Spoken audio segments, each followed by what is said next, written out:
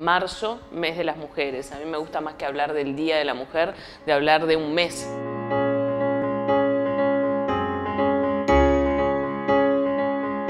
Tenemos nuestra propia historia de las mujeres y del feminismo en América Latina y en nuestro país de una manera muy clara. No, es, no se trata del Me Too. Por otro lado, encontrar todavía grandes nudos que uno se pregunta cómo a esta altura, en pleno siglo XXI, seguimos con los niveles de violencia de género, seguimos con eh, temas vinculados a los derechos sexuales y reproductivos que no están resueltos y que han sido tema de las grandes movilizaciones que se observaron el 2018 y suponemos que se van a observar este año en torno al Día de la Mujer. La obsesión con el tema de la panza de las mujeres y lo que hay ahí, lo que está pasando ahí, es un índice de la fragilidad de un Estado.